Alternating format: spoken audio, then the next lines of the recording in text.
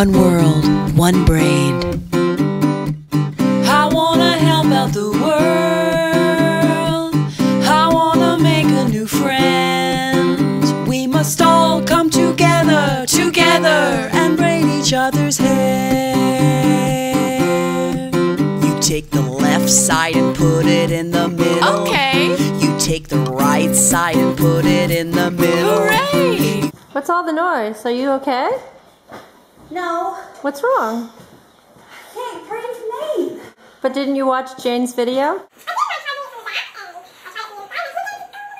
Okay, so I'll get you going with the video again. You gotta sit down and watch the video. Okay? I'm gonna watch Jane's video and learn how to do it the right way.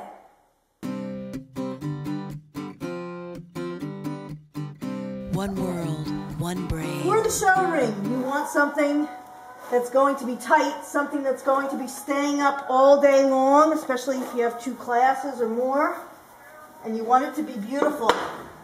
So what you're going to do is you're going to braid a French braid. You're going to take as thick a pieces as you can. Every time you come up, you take the hair up and you hold it up along the crest. When you come down, you add a piece of hair. Again, when you go up, you pull it up so that it's pulling the braid up on the crest. When you come down, you add a piece. And try to add about the same all the way down so that you don't have fat braid, skinny braid. So that the whole thing is even. Again, going to braid up. So that it stays tight on the mane. If you go down, the braid comes down.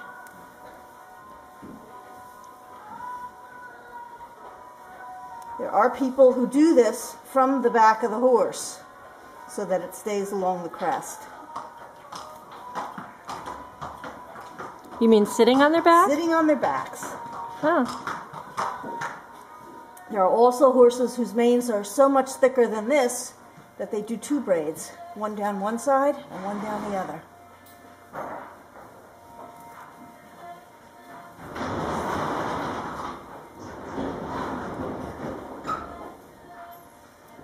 And you have to be able to hold the whole thing together. It gets so big that my hand can almost go not go around it. And the ideal situation is to practice this at home so that you can know how much hair you need to take for each piece, how long it's going to take you to do, so that you're not in a rush when you get to the horse show.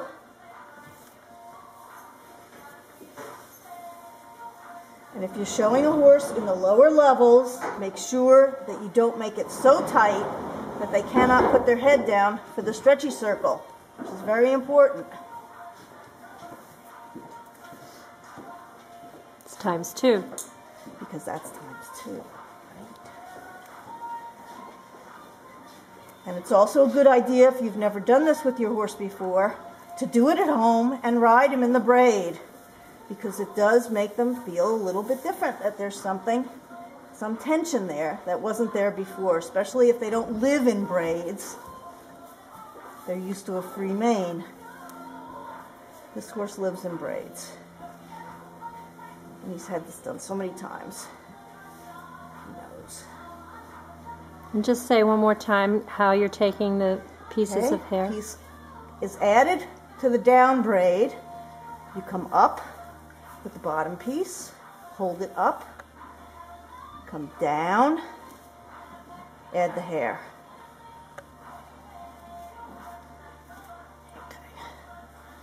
Go to the point where there's not so much hair, and then you simply braid down. If your horse's mane ends about where my hands are or a little bit lower, you can fold the braid up underneath and put a piece of yarn and hold it. This horse's mane is so long that I find it best to just simply braid all the way down as far as I can do, go, put a small black rubber band, and leave it there. This way the reins don't get caught in it, It doesn't fly up and down, it stays there. Just the sheer weight of the mane holds it. As you can see, it goes well down. And it generally lays right in front of my saddle pad, so there's not a problem. I'm going to not take it all the way down, just for time's sake. I'll put a rubber band and I'll show you how I keep it up during the day, which is basically the secret that not many people use. I learned this from trial and error that even if you put in a tight braid, by the time you do one class, put the horse in the stall, tack up, for your second class, the braid is all flopping over and falling out. Now, the way to do that is very simple.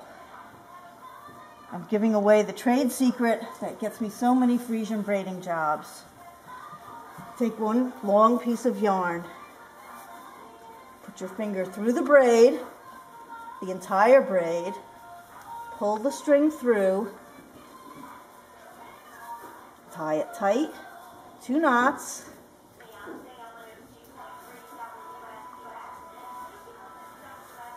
and cut the tails and slide the knot underneath. It's absolutely invisible. And you do that all the way down the mane, every three or so braids, depending upon how so. Finger through, grab, tie. You always tie tight. I put two knots, cut it, slide the knot underneath.